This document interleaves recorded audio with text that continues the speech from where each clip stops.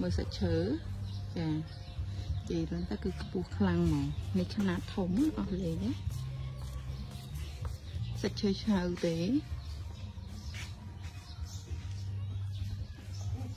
នៅពីក្រោយកាយ៉ាវកប់សេរីបងបងកាយ៉ាវគឺកប់ហ្មងសាច់ឈើគឺស្អាតខ្លាំង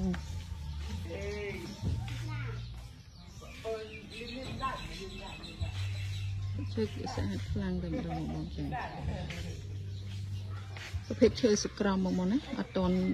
បាញ់ថ្នាំទេឈើឆៅមុខកាត់58 59កម្ពស់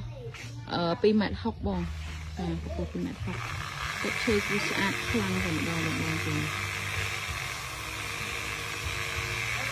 បងបងមើលហើយស្រឡាញ់ពេញចិត្តអាច inbox ចូល page ឬក៏ comment លេខខ្ញុំផ្ទាល់បានបងបងណា ចាអរគុណច្រើន